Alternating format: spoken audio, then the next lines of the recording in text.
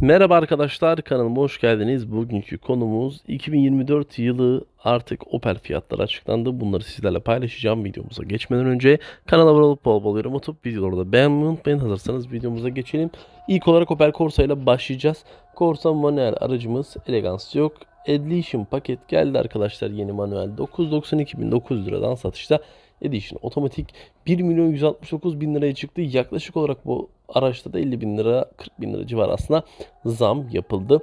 Diğer araçların da fiyatları yükselerek devam ediyor. En pahalısı arkadaşlar 1 milyon 331 bin 900 130 bin liralık zammı Opel Corsa'da yapmış gibi gözüküyor. Geçelim yeni Opel Astra'ya. Yeni Opel Astra'da arkadaşlar 1230 beygirlik manuel Edition aracımız yok. Otomatik şanzımanlı Edition var. 1 milyon 519 bin liraya çıktı. Bu araçta da arkadaşlar yine 100 bin lira civarı zam var. Fiyatlar yükselerek devam ediyor. Yeni paketlerimiz de var. Bakın Ultimate paketimiz de geldi. Opel Cross'ten de geçelim.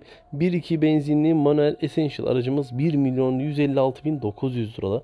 Bu araçta da 50 bin liralık zam var.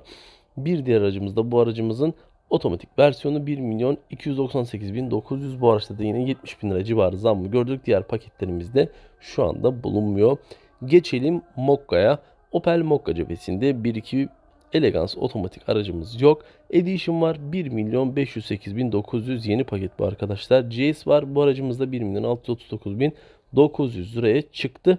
Bu araçta da yine 80 bin liralık zam var. Fiyatlar yükselerek devam ediyor.